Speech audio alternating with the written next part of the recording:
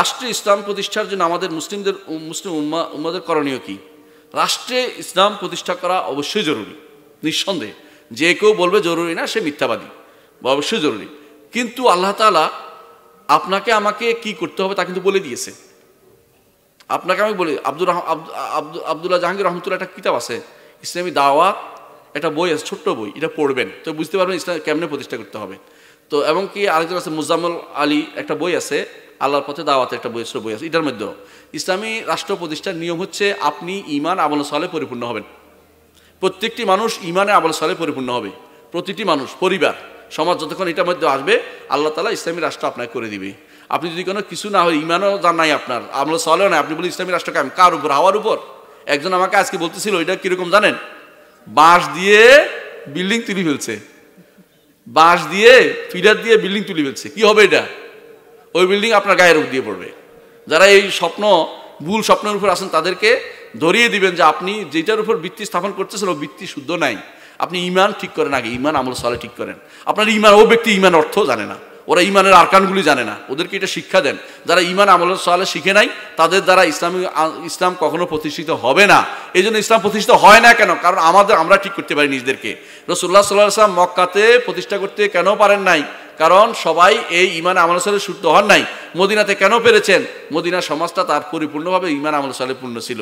এইখানে যারা কাফের, মোনাফেক, আর মোনাফেক ছিল আলাদা এবং তারা ইহুদি ছিল আলাদা, কিন্তু মুসলিম পুরুষ সমাজ সব কিছু ত্যাগ করে ইমান আমল সালে পূর্ণ হয়েছে, আল্লাহ তাদেরকে দিয়ে সারা দুনিয়াতে ইসলাম প্রচার প্রসার করে দিয়েছেন, মদিনা সমাজ থেকে। কিন্তু যেখানে কাফের থাকবে, সেখানে ফাসেক থাকবে, বদ- বদমাশ থাকবে, যেখানে ইমান বুঝে না, এদেশের শতকরা নব্বই পার্সেন্ট মানুষ ইমান বুঝে না। ওই মানুষের দ্বারা ইসলাম কীভাবে আপনি কায়েম করবেন? আমাকে বলেন। তো ইসলাম কায়েম করার জন্য আগে নিজের শরীরে ইসলাম কায়েম করেন। সাড়ে তিন হাট বদ- বদিতে ইসলাম কায়েম করেন ইনশাল্লাহ পুরো দেশে ইসলাম কায়েম হয়ে যায়। প্রত্যেকটি মানুষ তার পরিবার ইসলাম কায়েম করলে ইসলাম কায়েমের জন্য বেশি দূর যেতে হয় না। আপনি যেরকম হবেন, রাষ্ট্র সেরকম হয়। আপনি যদি সারাদিন যদি কোনো দিনের উপর থাকেন দেখবেন যে বলবে, আমিও আপনার মতে আসি এই এলাকার মানুষ যদি সব ভালো হয়ে যায় এমপি সাহেব বলবে যে আমি আপনার মতে আসি ওনার দরকার হচ্ছে ক্ষমতা যাওয়া উনি আপনারটাই চালাবে। কারণ হচ্ছে আপনি যদি কোনো উল্টাপাল্টা চালান বলে, এই উল্টাপাল্টা চালান বেশিরভাগ মানুষ উল্টাপাল্টা আমি উল্টাপাল্টা হয়ে যাই। তো আপনি ঠিক হলে দুনিয়া ঠিক হবে। পেপসি কোকাকোলা সেভেন আপ ইত্যাদি কোমল পানীয় পান করা কি জায়েজ? না জায়েজ হওয়ার কোনো দলিল না থাকলে এটা জায়েজ। না জায়েজ হওয়ার প্রমাণ বের করেন যে এখানে সত্যি সত্যি মাদক আছে। সত্যি সত্যি মাদক আছে, শুনে কথা বলবেন না। আপনাদের মধ্যে অনেকে আছে, বিজ্ঞান বিভাগ পড়েছেন আপনারা বের করে দেন যে এটাতে মাদক আছে, তাহলে আমরা খাব না, এবং না জায়েজ বলো আমরা না জায়েজ বলি না, তবে আমরা এগুলো পরিত্যাগ করতে বলি, কারণ এগুলি সন্দেহজনক জিনিস। অনেক সময় এগুলিতে কি থাকে আমরা জানি না, কোথায় বানিয়েছে আমরা জানি না, কি দিয়েছে আমরা বুঝি না। এগুলি খাওয়া থেকে দূরে থাকতে বলি। না জায়েজ বলার জন্য দলিল লাগবে। যে কোনো সেই নাজায়েজ বলার জন্য স্পষ্ট দলিল ছাড়া নাজায়েজ বলা যায় না শরীরে বিধানের চায় ইসলামের রাজতন্ত্র কি জায়েজ? ইসলামের রাজতন্ত্র জায়েজ। এ ব্যাপারে আমার বহুত আলোচনা আছে। না জায়েজ বলে নাই। রসুল্লাহ সাল্লাম বলেছেন সুম্মাতা কুনু মুলুকান। তারপর রাজারা আসবে এবং তিনি বলেছেন যে, বারো জন খলিফা যতদিন থাকবে, ততদিন ইসলাম শক্তিশালী থাকবে। বারো জন খলিফা, বারো জন খলিফা উমর ইবনে আব্দুল আজিজ পর্যন্ত। আপনারা জানেন যে, এই উমর ইবনে আব্দুল আজিজ পর্যন্ত সবাই কিন্তু, সবাই কি রাজতন্ত্রের বাইরে লোক ছিলেন নাকি? না? হাসান ইবনে আলীর পর থেকে সবাই তো রাজতন্ত্রের মধ্যে ছিলেন। তাহলে বারো জন খলিফার রসুল প্রশংসা করেছেন যে এই বারো জন খলিফা যতক্ষণ থাকবে, ততক্ষণ পর্যন্ত ইসলাম কি থাকবে? শক্তিশালী থাকবে। আর রসুল এদের খলিফা নাম দিয়েছেন। এর অর্থ হচ্ছে রাজা হলেও খলিফা হওয়া যায়। রাজার সাথে খেলাফতের কোনো দিবি- দ্বিমত নাই। যারা রাজতন্ত্র এবং খেলাফত নিয়ে বই লিখেছে, এরা বিভ্রান্তিতে ভরপুর। এরা দিন সম্পর্কে কিছুই বুঝে নাই। এরা না বুঝে এই কথাই লিখছে। একটা একটা বিরোধী নয়, একটা একটা সম্পূরক। কারণ কখনো মানুষের আল্লাহর দিন, যারা সত্যিকার মানুষ ফেরেস্তা চরিত্রের মানুষ যারা ছিলেন সাহাবাইকেরাম তাদের উপরে খলিফা ছিলেন। আবু বকর, ওমর, ওসমান, আলী। এরপরে মানুষের অবস্থার পরিবর্তন হচ্ছে তখন রাজা ধীরাজরা তখন ক্ষমতায় আসছে, কিন্তু তারা খেলাফতের বাইরে যায় নাই। এর অর্থ হচ্ছে, অবশ্যই সেটা নাজায়েজ বলা যাবে না। নাজায়েজ বলা যাবে না। রসুল্লাহ সাল্লাহ ইসলামের রসুল্লাহ সাল্লাহ আসলামকে আল্লাহ দুইটা অপশান দিয়েছেন। একটা কি? একটা হচ্ছে, আপনি কি রাজা হবেন? না? রাজা হবেন, রাসুল হবেন, নাকি আপনি দাস হবেন, রাসুল হবেন? রসুল কোনটা পছন্দ করেছেন? দাস হবেন, রাসুল হবেন। রাজা হবেন, রাসুলকে অপশান দিছিল কেউ দেয় নাই। দিছে। আচ্ছা আপনি বলেন তো সুলাইমান আলাইসালাম রাজা ছিলেন না? হ্যাঁ? দাউদ কি রাজা ছিলেন না? ছিলেন কি না ছিলেন কি না ছিলেন। আল্লাহ কি প্রশংসা করেন না ওই দুইজনের? তাহলে আপনি রাজা রাজা রাজতন্ত্র ইসলামের বাইরে গেল কি করে? এদের রাজতন্ত্র ইসলামের বাইরে বলে, আসলে কি জানেন, ভালো হলে সবখানে ভালো, খারাপ হলে সবখানে ভালো। খারাপ, সবখানে খারাপ। সুতরাং আপনি ভালোকে ভালো জায়গায় রাখেন, এটাকে নাজায়েজ বলেন না। নাজায়েজ বলেন যে খারাপ সে খারাপ, যে ভালো সে ভালো। রাজতন্ত্রের সংজ্ঞা চাচ্ছে আমার ভাইয়ের কাছে। রাজতন্ত্র হচ্ছে যে রাজার পরে রাজা হবে। রাজার পরে তার ছেলে রাজা অথবা তার ভাই রাজা হবে। অর্থাৎ সেটাকে বলা হয় ইস্তেবদা আদি জোর করে ক্ষমতা থাকা। ইসলামী শরীয়তের বিধান হচ্ছে কেউ এইভাবে আশাটা ইসলাম অনুমোদন করা। নিয়ম হচ্ছে আগের খলিফা পরটা বলে দিবে। ইসলাম এটা আছে, নিয়ম আছে। আচ্ছা বলেন তো ওমর রাজিউল্লাহ আহনুর খেলাফতটা কে প্রথম প্রস্তাব করেছে? আর কেউ প্রস্তাব করছিল? তো এটা কি? আগের খলিফা পরের খলিফার নাম বলে দিয়েছে, এটাই তো। এখন প্রশ্ন হচ্ছে, রাজার ব্যাপারটা হচ্ছে, রাজা তার সন্তানের মধ্যে চায় অথবা ভাইদের মধ্যে আত্মীয় স্বজনের মধ্যে চায়। এটাই তো। আর ওমর রাদিল্লাহ শেষ আবুবকর রাদিল্লাহ চেয়েছেন যে সবচেয়ে মোত্তাকিকে ফরজগারকে রাখে দিবেন। এই পার্থক্য হচ্ছে এটাই। নিজের পরের, নিজের সন্তান পরিবারের মধ্যে যদি থাকে, রাজতন্ত্র বলে, পরিবারের বাইরে গেলে রাজতন্ত্র থাকে না, অনেকে বলে থাকেন। এটাই হচ্ছে রাজতন্ত্র পার্থক্য। এখানে নাজায়জের কোনো কিছু নাই। নাজায়জ হবে ওই সময় যদি ওই ব্যক্তি খারাপ কাজ করে, এটা হারাম হবে। আর যে ব্যক্তি ভালো কাজ করবে, সে রাজা হইলেও সেটা নাজায়জ নয়। সৌদি আরবের সাথে মিলিয়ে ঈদ ও সিয়াম পালন করা কি জায়েজ? জায়েজ, মনে করছি না এখন। কারণ রাষ্ট্রের বিরুদ্ধে যাওয়া হয়, রাষ্ট্রের বিরুদ্ধে গেলে সেটা আমরা জায়জ মনে করি না। তবে যদি কোনো রাষ্ট্র কোনোদিন যদি করে এই পকমতটা গ্রহণ করে, আমরা তখন সেটাকে জায়জ বলব। এটা আগে বলে দিলাম। কারণ হচ্ছে এই সমস্ত ঈদ এবং সিয়াম এগুলির নিয়ম হচ্ছে রাষ্ট্রের কথা শুনতে হয়। রসুল্লাহ সাল্লাম বলেছেন সৌমুকুম ইয়ময় নাস, ও ফেতরুকুম ইয়ময় নাস। তোমাদের কাছে সম ওই দিন হবে যেদিন লোকেরা সাথে মিলিয়ে সম করা, একাকি কোনো কিছু পালন করা রসুল্লাহ অনুমোদন করেননি। এই জন্য এই বিষয়ে আমাদের বিশাল আলোচনা আছে। আবদুল্লাহ, এহতসাম টিভির মধ্যে আলোচনা আবদুল্লাহ আব্দুল রাজাক সঞ্চালক ছিলেন। আমি এবং ডক্টর মঞ্জুর আলাহি নিয়ে আলোচনা করেছি, এটা নেব এহতসাম টিভি থেকে নিয়ে প্রত্যেকে শুনবেন, আশা করি আপনাদের সন্দেহ দূরীভূত হবে। তাবিজ নেওয়া কি জায়েজ? তাবিজ নেওয়া জায়েজ নেই। জায়েজ নেই। কখনো হারাম হয়, কখনো ছোট শিরিক, কখনো বড় শিরিক হয়। অর্থাৎ এর কম নাই। তিনটার একটা। হয় ছোট শিরিক, না বড় শিরিক, না সো নয় হারাম। তিনটার একটা হয়। সুতরাং এই জন্য তাবিজ নিয়ে লটকাবেন না। দাড়ি একেবারে কাটা বা ছোটো করে রাখা কি জায়েজ? না। দাড়ি একেবারে কাটা হারাম, ছোটো করে রাখাটা সুন্নার বিরোধী। সুতরাং ছোটো করে রাখলেও সে তাকে কামার মতো সমান মনে করবেন না। তবে সুন্না তার পালন হয়নি। শূন্য তার পালন হয়নি। যে সুন্নার উদ্দেশ্য ছিল, উদ্দেশ্য তার পালন হয়নি। তারপরেও সে অন্তত কবিরা গুণা থেকে বেঁচে আছে। সুতরাং যারা দাড়ি ছোট রাখে, তাদেরকে খারাপভাবে দেখবেন না, কিন্তু দাড়ি যারা কামায়, তাদেরকে অবশ্যই বলতে হবে প্রতিদিন গুণা করতেছে। প্রতিদিন গুণা করতেছে। অর্থাৎ সে প্রতিদিন একটা গুণা করে। এমনি হলে একজন দিকে মেয়ের দিকে তাকাইছেন একবার গুণা কিন্তু আপনি প্রতিদিন এখন দাড়ি কামাচ্ছেন, অর্থাৎ প্রতিদিন আপনি আল্লাহর বিরুদ্ধে যাচ্ছেন।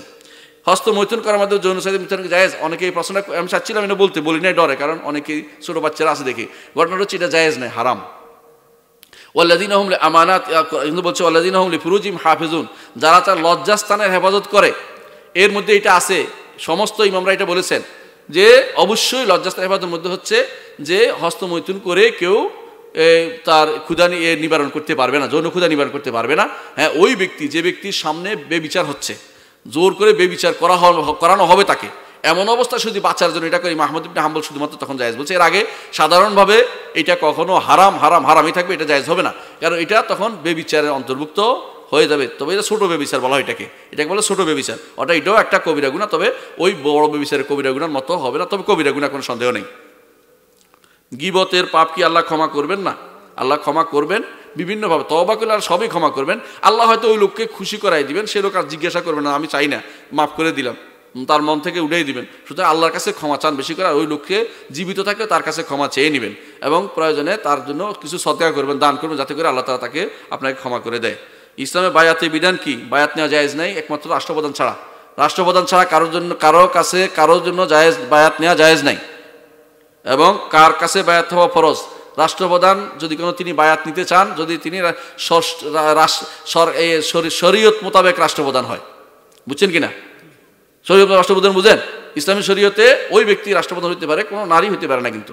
সুতরাং সেই হিসাবে রাষ্ট্রপ্রধান যদি কোনো শরিয়া মোতাবেক হয়, তাহলে তার হাত, তিনি যদি বায়াত চান, বায়াত নেওয়া ফরজ, যদি না নেয়, তাহলে আপনি গুনা গুনার ভিতরে পড়বেন। কিন্তু তিনি ব্যতীত কোনো ব্যক্তি, কোনো সংগঠন, কোনো রাষ্ট্র, কোনো ব্যক্তি আমির হইয়া দাবি করে যে আমার বায়াত করেন, এই এই বায়াত নেওয়া ইসলামী শরীয়তে হারাম, এটা জায়েজ নাই, এটা কখনো ইসলাম অনুমোদন করেনি। বানোয়ার যিনি এটার মধ্যে ও পিসাবরাহ করে, উনিও করে, এরকম আর কি, কিছু মানুষ আছে এরকম। পীর ধরা কি জায়েজ? পীর ধরা জায়েজ নেই। পীর ধরা আমাদের এক ভাই বলছিল, পীর ধরা মানে সোদ ধরার মতো। আমি এটা বলছি না, পীর ধরা জায়েজ নেই। আলেম ধরবেন। পীর ধরবেন না, কি ধরবেন? আলেমকে ধরবেন, জিজ্ঞাসা করুন হুজুর, এটা কি? এই যে আলেমরা আছেন আপনাদের চোখের সামনে, ওনাদেরকে জিজ্ঞাসা করেন, পীর ধরবেন না? পীর আপনাকে অন্ধকারের গলিতে নিয়ে যাবে। পীর আপনার ইমান শেষ করে দিবে। পীর হচ্ছে ইমান সো কোন কোন জিনিসের ওসিলা করে আল্লাহর কাছে দোয়া করা যায়? আপনার ন্যাক আমল ওসিলাকে আল্লাহর কাছে দোয়া করতে হবে। একটা ন্যাক আমল করছেন এটা ওসিলা দিয়ে। দুই টাকা তামাজ করছেন এটা ওসিলে দোয়া করেন। অথবা দুই নম্বর হচ্ছে যে আপনি আল্লাহর নাম ও গুণের রসিলায় দোয়া করবেন। আল্লাহ আপনি রহমান, আমাকে রহমত করুন, নাম রসিলা। তিন নম্বর হচ্ছে ন্যাক্কার বান্দার দোয়ার সাথে শরিক হয়ে, যে আপনি আপনি দোয়া করেন, আমিও দোয়া করছি, আল্লাহ যেন আমাদের কি করে? ভালো কিছু দেয় দোয়া আল্লাহর কাছে চাইবেন। এই তিনটে ওসিলা ছাড়া আর কোনো ওসিলা ইসলাম অনুমোদন করে না। বাংলা ভাষার সবচেয়ে সঠিক, সহজ ও সঠিক তাফসির গ্রন্থ কোনটি? আমার জিজ্ঞাসা করলে তো আমারটাই বলব। ফাতেমা রাদিউল্লাহ আনহুকে মা বলা যাবে কি? জি, বলা যাবে না। ফাতেমা রাদিউল আমাদের মা, এটা বলা যায় মা হচ্ছে আমাদের কে?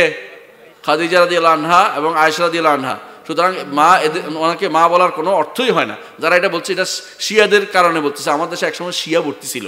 এখন বাকি রয়েছে, শিয়ারা বাদ গেছে, এখন রয়ে গেছে শিয়াদের ছোট বাচ্চারা এটা হলো সুফিরা। বুঝছেন তো? শিয়াবাদ এবং সুফিবাদের মধ্যে বড় ধরনের কোনো পার্থক্য নাই। কাছাকাছি। এরা একে অপরের সম্পূরক। এই জন্য ওরা রয়ে গেছে, ওরা এখন মা ফাতেমা কান্দি কয়ে গান গাইতেছে, ঠিক না?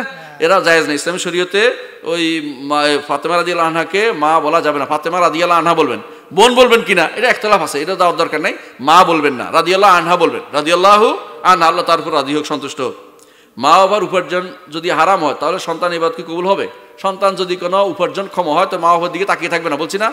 আর যদি কোনো উপার্জন ক্ষম না হয় তাহলে ছোট হয়, তাহলে তার এবার কবুল হবে, কারণ তার কিছু করার নেই। কিন্তু যদি কোনো তার করার সম্প- স- থাকে, তো মা বাপের গুনার কাজ নিবে না। তবে মা বাপ মরে গেলে সে নিতে পারবে। শরীরের বিধান ভিন্ন জিনিস। যদি হয় তবা করে সে যদি ভালো হয়ে যায়, আলহামদুলিল্লাহ। না হলে মরে গেলে সে সন্তান কিন্তু এটা মালিক হবে, হালাল মালিক হবে, বৈধ মালিক হবে। বাবা নিজে হারাম কামাইয়া জাহান নামে গেছে, সন্তানরে হ্যাঁ সম্পদের পাহাড় বানিয়ে দিয়ে গেছে। কত বড় বোকা এই বাবা। চিন্তা করা দরকার যে আমি হারাম খাচ্ছি আর সন্তানের বড় লোক বানিয়ে যাচ্ছি তো সন্তান জীবিত অবস্থা যদি তার ক্ষমতা থাকে, সক্ষমতা থাকে, তাহলে সে কি করবে না? তাহলে সে বাবার এই হারাম অর্থ নিবে না। হারাম অর্থ নিবে না, নিলে তার এবাদত কবুল হবে না। দিন কায়েম ইসলামী পদ্ধতি কি? দিন কায়েম কথাটা কি বুঝেন আপনি? এটাই সমস্যা। দিন হচ্ছে কি রসুল্লাহ সাল্লাহ আসলামের কাছে আসে জিবরিল আসছে, আসে তিনটা জিনিস বলেছেন। ইসলাম কইছে না? ইসলাম আকবর নিমাল ইসলাম, তারপর আকবর নিমাল ইমান তারপর আকবর নিমাল এহসান। ইমান ইসলাম, এহসান, এই তিনটা প্রতিষ্ঠা হচ্ছে দিন। প্রমাণ আমার কথা রসুল্লাহ সাল্লাম বলে গেছেন। কি বলেছেন? হাজা জিবরিল যা আকুম ইউ আল্লেমুকুম দিন আকুম জিবরিল এসে তোমাদেরকে দিন শিক্ষা দিতে। কি বলছে দিন বলে নাই? তাহলে এই তিনটে হচ্ছে দিন। এর বাইরে হচ্ছে অতিরিক্ত অংশ। এই তিনটি জিনিস যে ব্যক্তি করতে পেরেছে ইমান ইসলাম এহসান সে ব্যক্তি দিন প্রতিষ্ঠা করেছে। ঠিক কি না হানাহানি, মারামারি করে, রাস্তা মারামারি করে, গাড়ি ভাঙ্গা, এগুলি ইসলাম দিন প্রতিষ্ঠা নয়। এগুলি হচ্ছে কি? হ্যাঁ উগ্রতা এবং সন্ত্রাসী কর্মকাণ্ড। সুদের টাকা দিয়ে বিদেশে গেলে সে উপার্জন কি জায়েজ? উপার্জন যদি হালাল হয় সুদের টাকার গুণা আলাদা হবে। সুদের টাকার গুণা আলাদা হবে। সে ওখানে যদি উপার্জনটা হালাল করে, তাহলে সেটা তার হালাল হবে। গুণাটা আলাদা হবে। ঘুষের টাকা দিয়ে চাকরি নিলে সেই চাকরির উপার্জন কি জায়েজ? অনেক প্রশ্ন। এটা অনেক লম্বা প্রশ্ন, এটা আপনারা জানেন। এটা উত্তর দিয়েছি আমি। আমার ইয়াতে উত্তর আছে। আমাদের ইউটিউবে অথবা ফেসবুক উত্তর আছে। সংক্ষেপে এটাই বলি যে, যদি সে কাজে উপযুক্ত নয়, কিন্তু সে ঘুষ দিয়ে নিছে, তাহলে পুরোটাই হারাম। আর উপযুক্ত আসছিল কিন্তু তারা আটকাই রাখছে ফাইলটা ঘুষ না দিলে চাকরি দিবে না। তাহলে চাকরি দেওয়া হারাম চাকরি ঘুষ দেওয়া হারাম, ঘুষ, কর্মকাণ্ড হারাম, কিন্তু তার চাকরি করলে এরপর টাকাটা হালাল হবে। কারণ হচ্ছে, সে তো এখন হালাল কাজ করে খাচ্ছে। কিন্তু তার কারণে যদি কেউ ক্ষতিগ্রস্ত হয়, তাহলে সে আবার গুণাগার হবে। কারণ আরেকজনের হক নষ্ট করতেছে সে। আরেকজন তার জন্য যোগ্যতা সম্পন্ন ব্যক্তি, তার জন্য তার কারণে কি হয়েছে? বঞ্চিত হয়েছে। ওয়াজ করে নামাজ বা নামাজ পড়িয়ে টাকা নেওয়া কি জায়েজ? তো কি করব? ওর ভাত খাবে না। যে ব্যক্তি নামাজ পড়ে, তার যদি খাওয়ার ব্যবস্থা থাকে, তাহলে তার জন্য জায়েজ নেই। ঠিক ওয়াজ করে আমাদের ওয়াজিনা যদি কোনো আপনার সম্মান করেন, তাকে নিতে পারবে। কিন্তু টাকা নেওয়ার জন্য বাধ্যবাধকতা করবে, পিড়াপিড়ি করবে, নির্ধারণ করবে, সেটা শুধুমাত্র জায়জ নেই। মুসলিম হয়ে যারা পীরতন্ত্র, গণতন্ত্র, সমাজতন্ত্র, জাতীয়তাবাদ, ধর্মীয়তা, সুফিয়াদ ইত্যাদি মতো বিষয়ে তারা কি জানাতে যাবে? এদের সব প্রত্যেকের মধ্যে ইমানদার কাফের হতে পারে। সুফিবাদের মধ্যে কিছু সুফি আছে পুরোপুরি না, মনের ভিতরে একটু মনে করছে, এটি ভালো মানুষ মনে করতেছে, কথাবার্তা শুনে। এত তো জাহান্নামি কাজ করে না। কিন্তু যদি মনে করে পিসাব আমার গায়েব জানে পিসাব আমার ভালো করতে পারতো শিরক হয়ে যাচ্ছে। এর প্রত্যেকটির মধ্যে এরকম আছে, এর প্রত্যেকটি যেগুলি আপনি বলেছেন, এগুলির মধ্যে কোনোটা আছে গুনার কাজ, কোনোটা আছে শিরকুপুরি কাজ। তো এর প্রত্যেকটার মধ্যে কোনো কারটা করলে কাফের হয়ে যাবে, কোনটা করলে গুণাগার হবে? সুতরাং জাহান্নামে, জান্নাতে যাবে যাবে না, এটা যেমন বলতে পারব না, জান্নাতে যাবে, এটা বলাও কঠিন, বিস্তারিত শুনতে হবে। শেষ হয়ে যাচ্ছে ইনশাল্লাহ কীভাবে আল্লাহর অলি হওয়া যায়? আল্লাহর অলি হতে হলে ইমান এবং তাকওয়ার অধিকারী হলে আল্লাহর অলি হওয়া যাবে। ইমান এবং তাকওয়া, আল্লাহ তো বলে দিয়েছেন আল্লাহ ইন্না আউলিয়া আল্লাহ খফুন আলাইহিম আলাম ইয়াহজানুন। আল্লাদিন আমানু ওয়া কানু ইয়াত্তাকুন। বলে দিয়েছেন, যারা ইমান আনবে, তাকওয়া অবলম্বন করবে তারাই আল্লাহর অলি শুধু ইমান এবং তাকওয়ার অধিকারী হতে হলে কি করতে হবে? ইমান ওসুল ইমান আর কানুল ইমান ইসলাম উসুল ইসলাম। বুঝছেন তো? আর এহসান উসুল ইসলাম যদি পালন করে, অবশ্যই সে ব্যক্তি আল্লাহ তালার আল্লাহ তালার ন্যাক বান্দা হইতে পারবে অলি হইতে পারবে। অলি হওয়ার জন্য কোনো দরবার লাগে না। অলি হওয়ার জন্য কোনো দরবার লাগে না। আলহামদুলিল্লাহ, সমস্ত প্রশ্নের উত্তর দিয়েছি, একটা ছাড়া। এই প্রশ্নের উত্তর দেয় নাই কেন? কারণ এইটা হলো ফেতনা, বিতর্কিত কাজ, এটা আমি করব না। আসসালামু আলাইকুম রহমতুল্লাহ বরকাত